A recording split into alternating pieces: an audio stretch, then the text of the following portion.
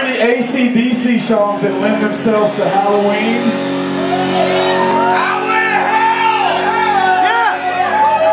Hello, Locust Grove!